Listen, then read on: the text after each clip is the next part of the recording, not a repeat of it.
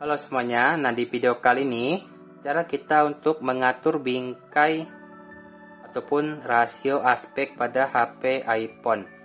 Jadi buat teman-teman yang mau memoto ya, mungkin di antara landscape atau apa ya. Nah, di situ kan kita bisa mengatur untuk ukuran bingkai yang ingin kita foto ataupun yang ingin kita video. Nah, untuk cara kita mengatur uh, rasio ataupun aspek video di HP iPhone. Nah, caranya seperti ini. Misalnya kita buka di bagian foto.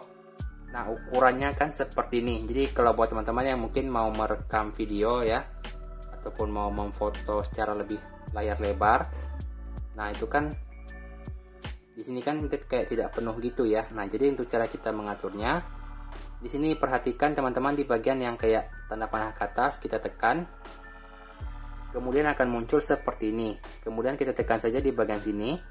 Di sini ada tiga ukuran ya.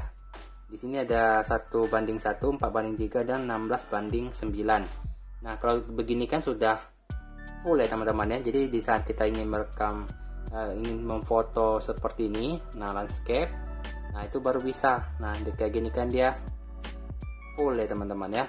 Jadi begitu cara untuk kita mengatur ukuran uh, ini namanya sih kalau di HP Android kita sebutnya rasio ya teman-teman ya. As, uh, rasio aspek gitu lah ya. Tapi kalau di iPhone ya mungkin itu juga namanya. Cuma di sini kan tidak ada tulis namanya.